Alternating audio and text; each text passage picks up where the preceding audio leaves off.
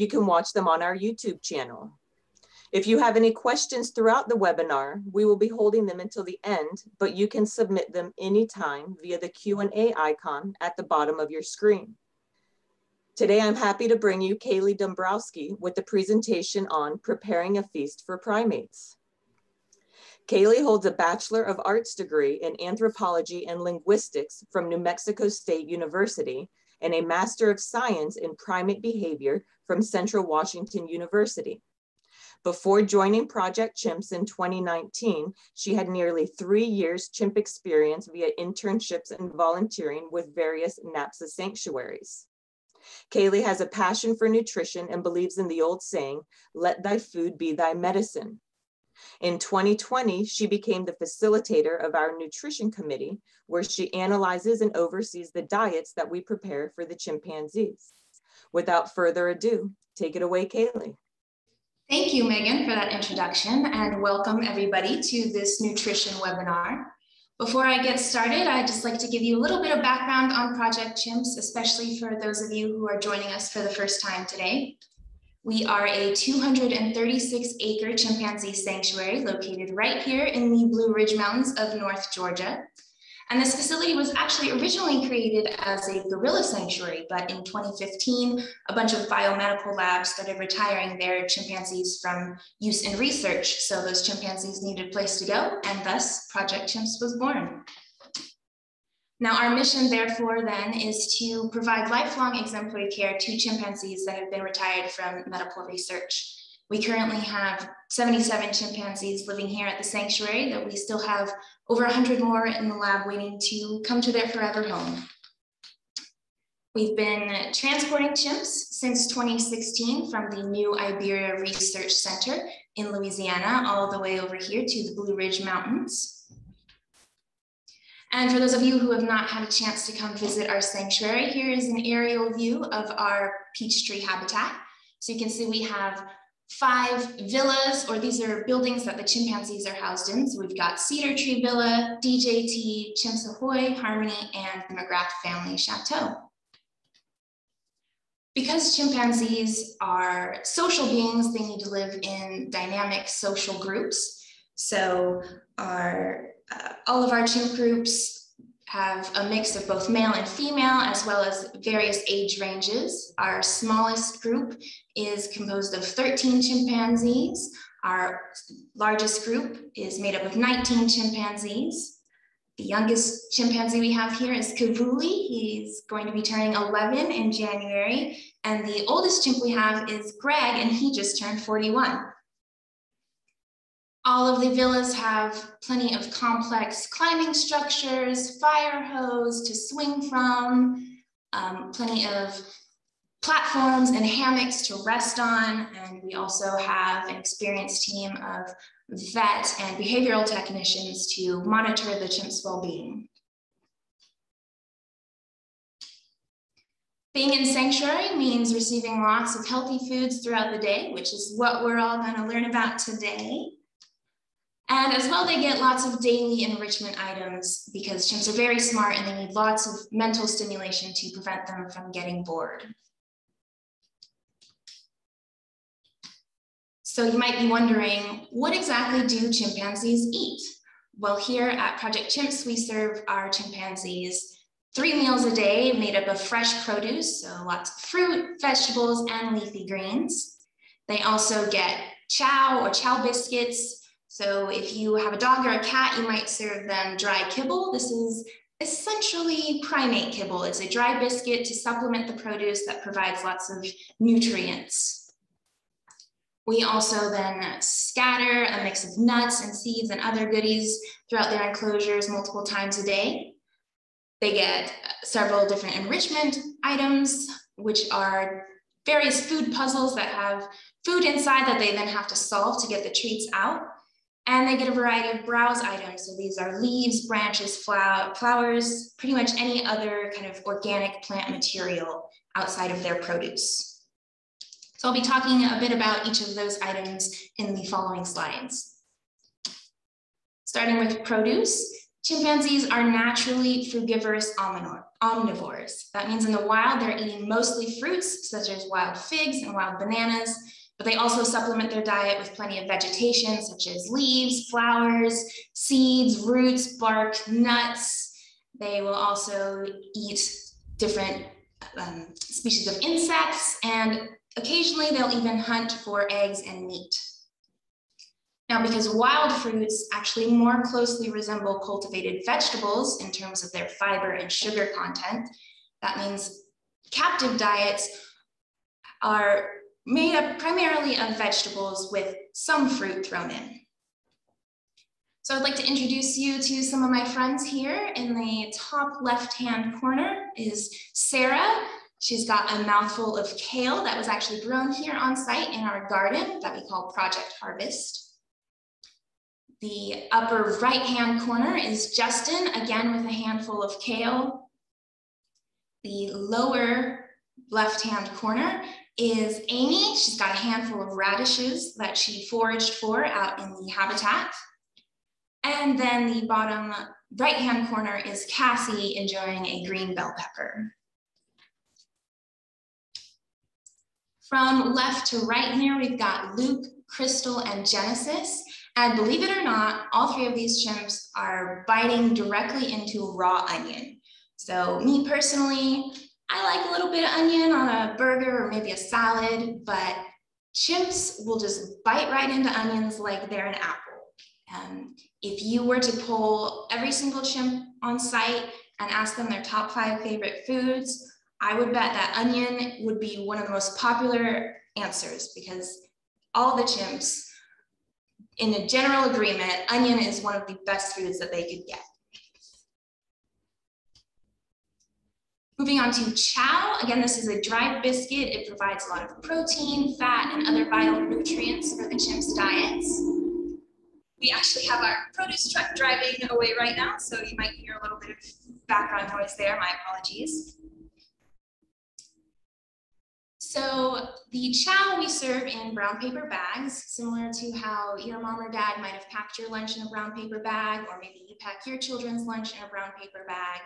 We'll weigh out the chow, roll them up in these brown paper bags, and then serve those out to the chimps. And each chimp has their own individual style of eating chow. So there's the chimps that will kind of gingerly open the bag of chow and take out piece by piece and munch on it.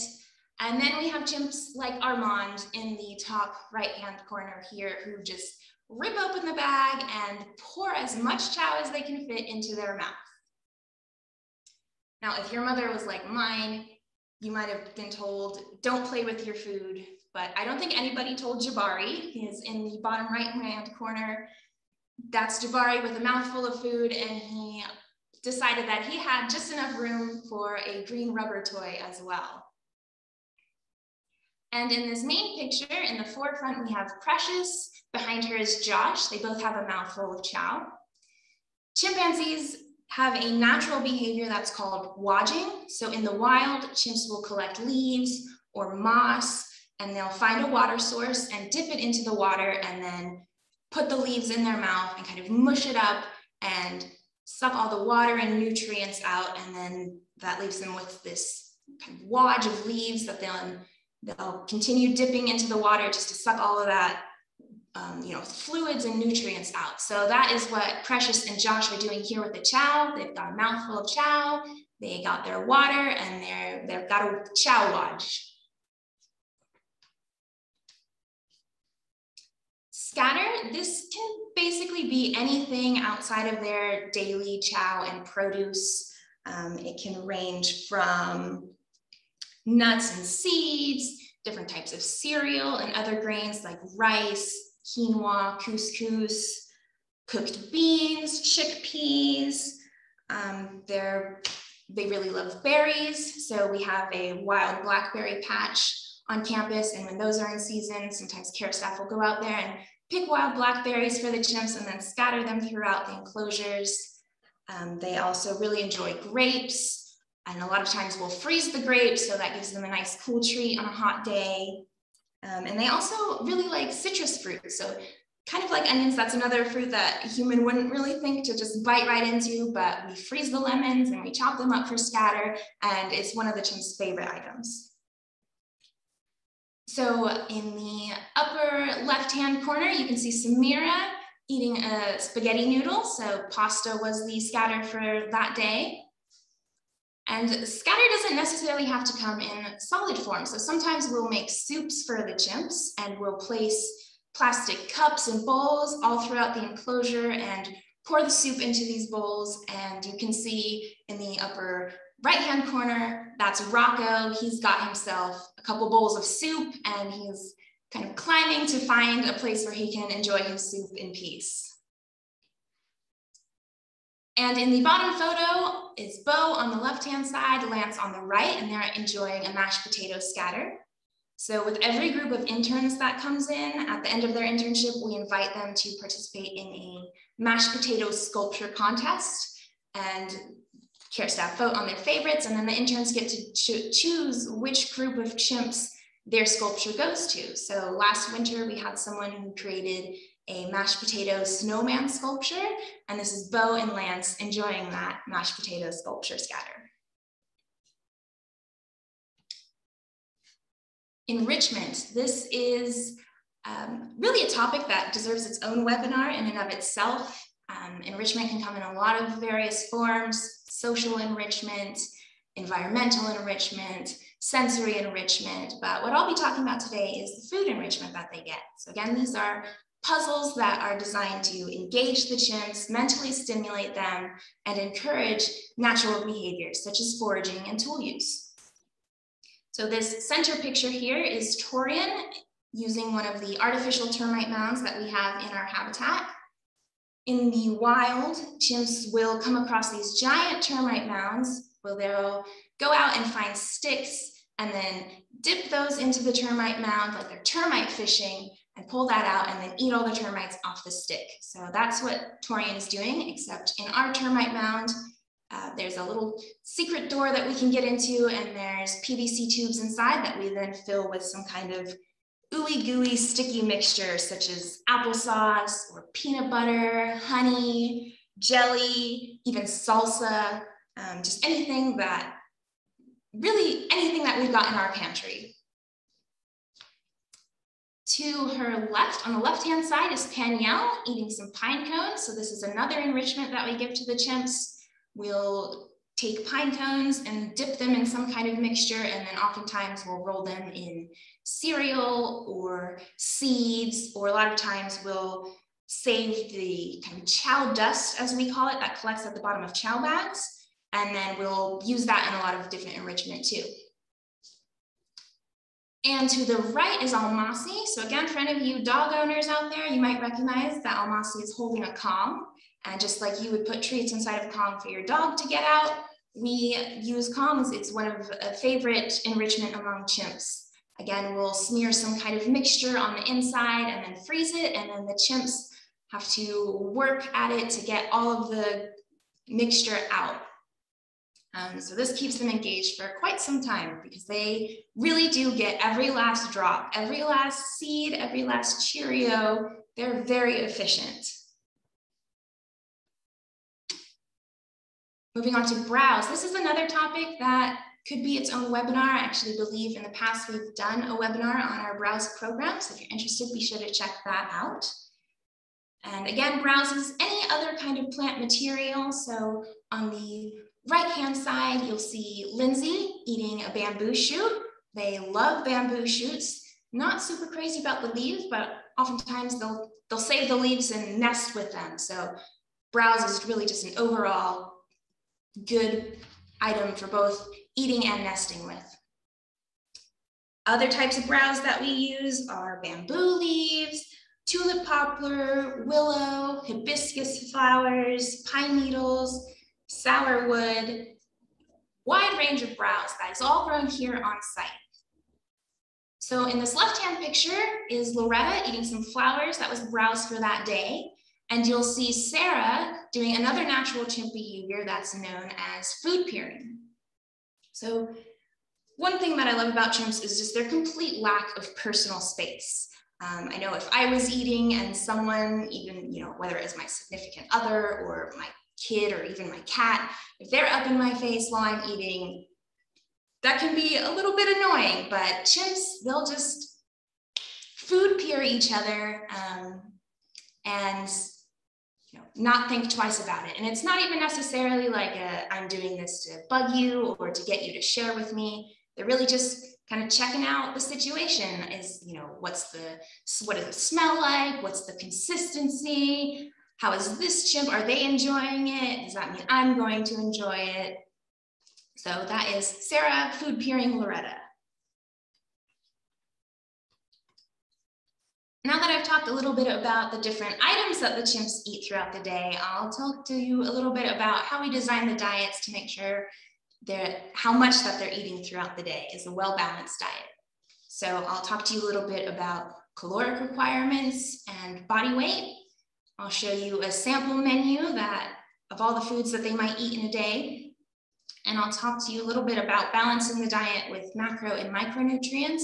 And they give an overall analysis of what males and females are eating throughout the day. So in order to determine caloric requirement, you have to know an individual's body weight. So chimps can weigh between 40 and 60 kilograms, which is about 90 to 130 pounds. So given that the average chimp weighs 50 kilograms, then that individual would need about 1880 kilocalories per day. Males have a slightly higher caloric requirement, about one and a half times that.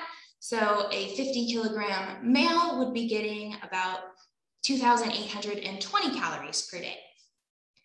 This comes to about two and a half kilograms of produce, which can be broken down into 40% leafy greens, 40% other vegetables, and 20% fruit. And the males here get close to 0.4 kilograms of chow and females get just under 0.3 kilograms of chow every day. So here is a sample menu. As I said, the chimps get three meals a day, breakfast, lunch, and dinner.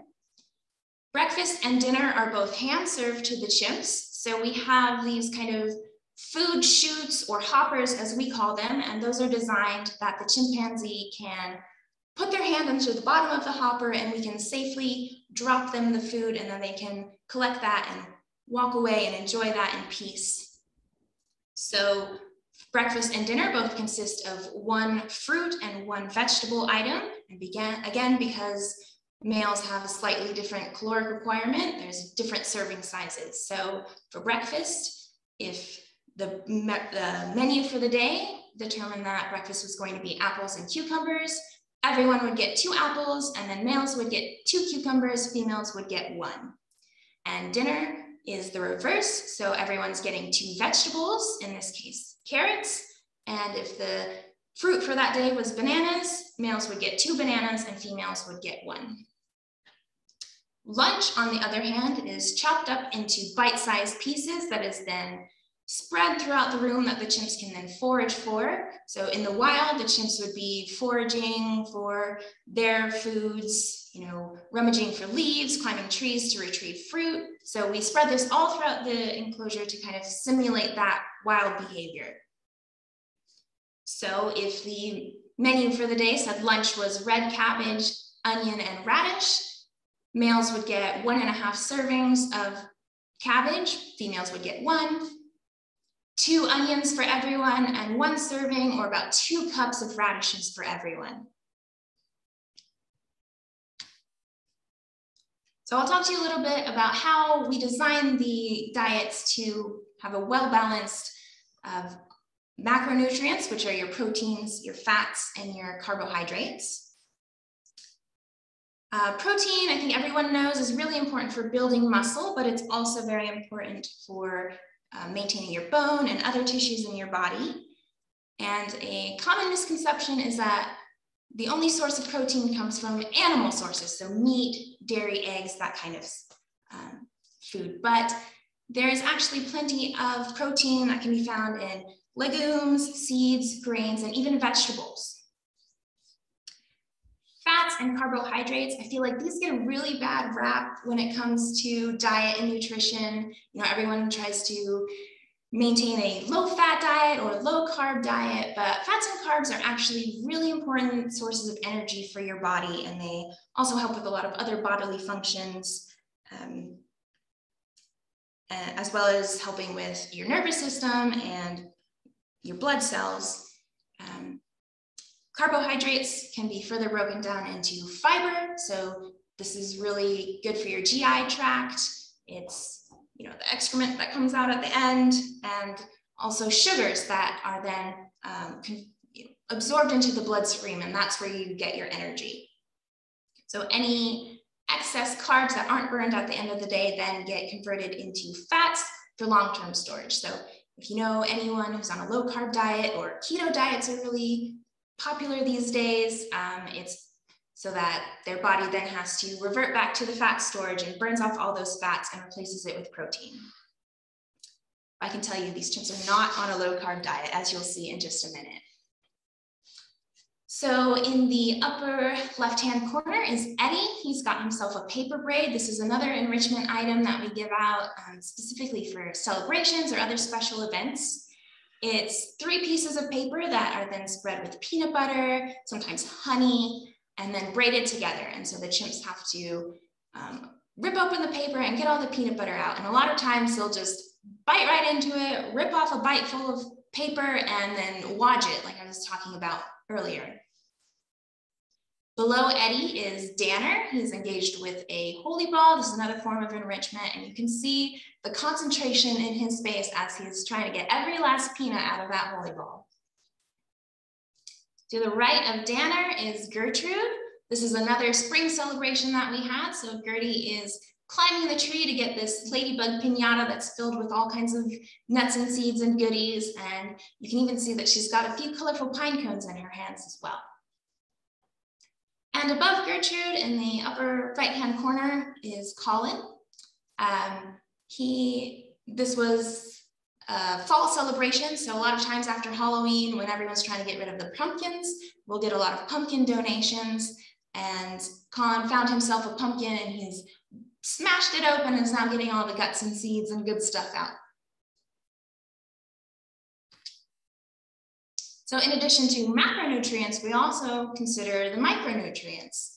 Um, and there's dozens and dozens of vitamins and minerals that count as micronutrients that are really important for the body. But for this presentation and for my analysis, I've really just focused on these six key uh, vitamins and minerals. So we've got sodium, this is your salt, which is really important for maintaining your cells and aids in digestion.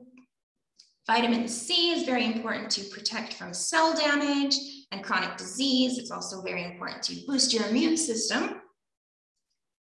Potassium, it helps with nerve impulses, muscle contractions, and regulating your heartbeat.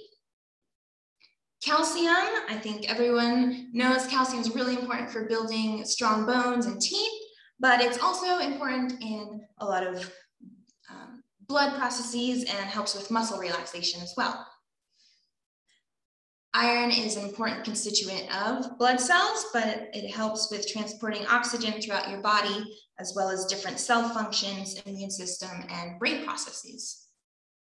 And phosphorus is another mineral that's important for producing and storing energy within the body. So in the upper left-hand corner, just moving left to right here, there's Oscar engaged with some paper tubes. So yet another type of enrichment that we offer the chimps. Um, it's filled with nuts and seeds and he's got to open it up and get it, get them all out. There's also shredded paper, just kind of make it a little bit more different, difficult. So he has to sort through the shredded paper to get every last nut and seed. And believe me when I tell you, they do. Like I said, these chimps are super efficient. They will get every last nut and seed off the floor, even when it's scattered throughout leaves or hay, they find every last drop. So next to him is Panielle. She's got a peanut in her mouth and just a very beautiful smile. How could I not include this picture in this webinar? To her right is Hercules, and he's got himself a green pepper. So this was likely breakfast for the day that he took from the hopper and then wandered out into the habitat and found himself a nice shady spot to enjoy his breakfast. And then to his right is Noelle. She's got a fire hose cube. So a lot of times when fire departments are looking to get rid of their fire hose, they'll donate it here and we'll either hang it inside the enclosures or we'll fold it up into these fire hose cubes and then stuff it with nuts that the chimps then have to kind of move around and get the nuts from inside. Okay, so moving into the analysis, and my apologies, these last two slides don't have any pictures of chimps. Blasphemy, I know, but there was a lot of numbers on here that I just wanted to show you overall just how much these chimps are eating throughout the day. So in order to calculate these numbers for produce, I just took a sample menu from every day of the week, kind of averaged that out. So on the average day, male chimpanzees are getting just over three kilograms of produce, which comes to just over 900 calories from produce alone. The chow, like I said, they get about 0.4 grams of chow throughout the day. So they'll get half in the morning with their breakfast and half again at dinner. And that comes to just over 1100 calories. Now, scatter and enrichment, these mixtures can vary greatly from day to day, which we want because who wants to eat the same thing every day for the rest of their lives? So um, we really try to vary the not only ingredients, but also the presentation, just to make it a little bit more fun and more exciting for the chimps. So for scatter enrichment, I just kind of took an average of the most commonly used items, such as peanut butter, oatmeal, applesauce, and kind of portioned them out to show um, a rough estimate of how much they would be getting from those items. So in total, chimps are, male chimpanzees are getting about three and three quarters kilograms of food throughout the day, which comes to about 2,600, just over 2,600 calories.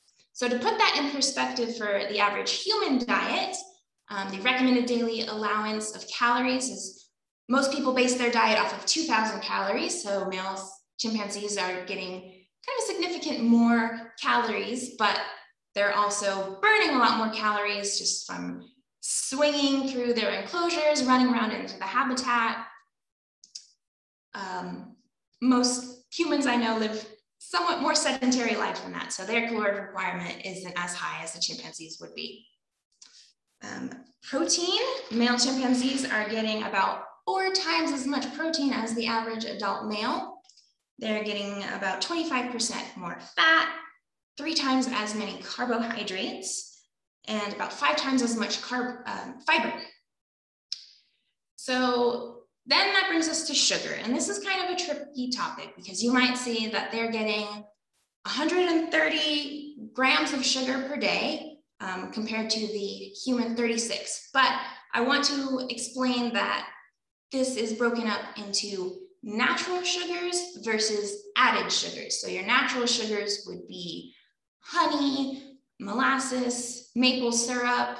Um, and if, if you kind of look at the top of the chart, most of their sugar is actually coming just from the produce again alone. So the 20% of their diet that comes from produce or from fruit, um, that's where those 89 grams of sugar are coming from. So um, for humans, that those 36 grams are referring to added sugars. This would be like processed sugar, you know, just the normal white granulated sugar that I think of when I think of sugar, um, or you know, high fructose corn syrup.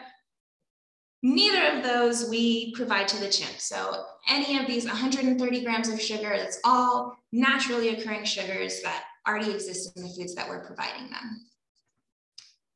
Sodium, so they're actually getting about half as much sodium as the average human diet, but humans actually tend to get more sodium than they need as it is. So that's not really a concerning number for me. Um, and I've scoured the literature. I couldn't come across any studies that said exactly how much chimps are, you know, how much sodium they're consuming in the wild, but I would bet that it's not nearly close to what humans are getting um, in their daily diet. Vitamin C, the chimps are getting about five times as much vitamin C as humans, as the average male would get.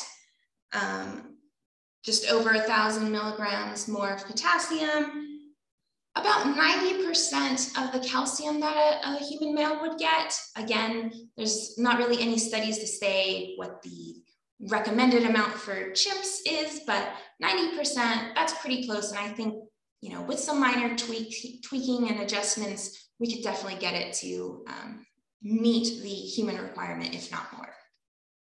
And then both iron and phosphorus, they're getting about one and a half times as much as the average human male would be getting for that as well.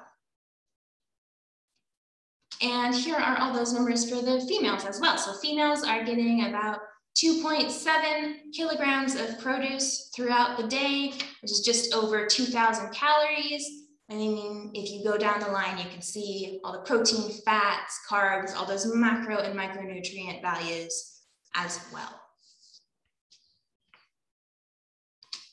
Okay, so that's all from me, and I'd like to turn it over to Megan and the audience for any questions. Thank you so much, Kailie. That was so informative. If you do have questions, now is the time to submit them via that Q&A icon at the bottom of your screen. So here's one coming in.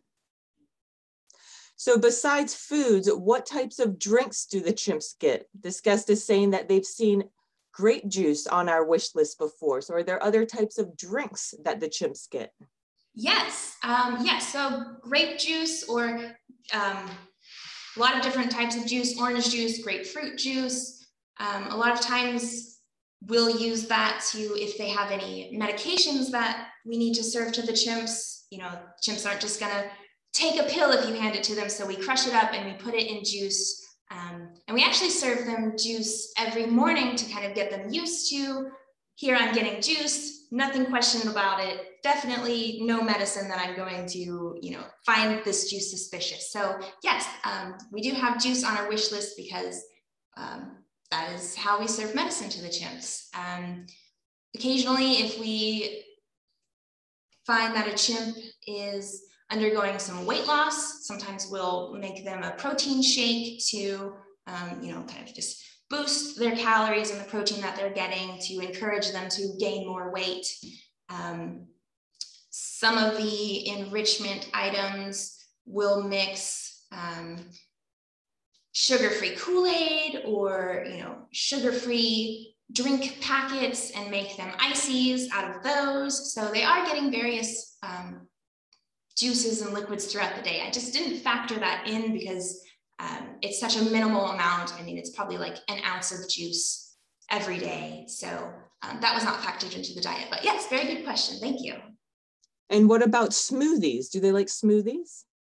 Yes, yeah, so that is another enrichment item that we get. Um, oftentimes, uh, the food bank will donate boxes upon boxes of bananas. So we'll freeze the bananas and then um, when the enrichment for the day is smoothies, we'll blend those up with some water and then freeze those. And then the chimps have frozen banana smoothies that they go nuts over. Yum. Now, do the chimps tend to share their food with others? Um, this is a really good question. So sometimes chimps, I suppose you could call it um, sharing. Sometimes it looks more like stealing. Um, and it kind of depends on the individual chimp dynamic. So um, we have two chimpanzees, Babs and LB, um, and they are like best friends, close as can be. But it's kind of a strange relationship because Babs will steal from LB. But like I said, it's not always stealing. Sometimes you'll serve LB her chow, and Babs will come over, and LB will just hand it right over.